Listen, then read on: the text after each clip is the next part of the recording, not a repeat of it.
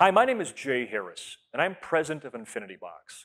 And we're introducing a new video series showing you step by step how we're going to wire this 1979 CJ7 with our Infinitybox system. We're going to take you through the process and show you the simplicity of wiring with the Infinitybox system, but also the power and the flexibility you can get by putting our system in your Pro Touring build, your street rod, your hot rod, your race car, even your kit car. So we're going to take you through that process step by step. Now, we picked this CJ7 for a couple reasons. First off, I love Jeeps. I think there's just a utilitarian part of them that appeals to me. But also, this is a really simple truck. There's not a lot going on in here electrically. But because it is so simple, we're going to show you that no matter what you're building, from the simplest build to the most complicated build, you're going to benefit by wiring your car or truck with our Infinitybox system. Mechanically, it's in great shape. There's not a lick of rust on the body or the chassis. It's got a really well-built Chevy 350 in it. The suspension is just how I like it in terms of ride height, but electrically, it's a basket case.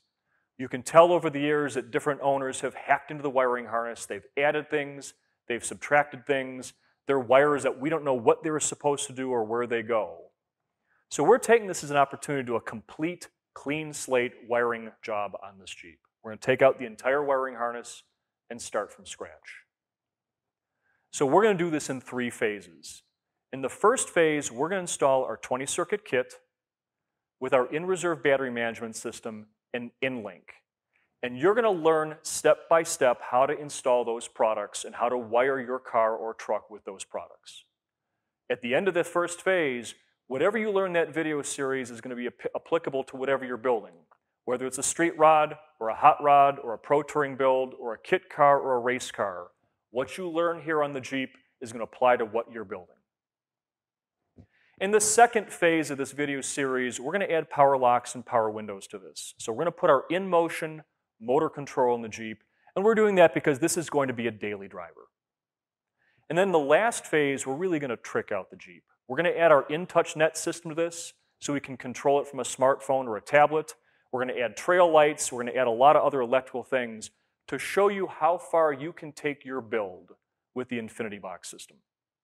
So stay tuned for more. Be sure to click the bell icon to get notified as we add more videos to the series.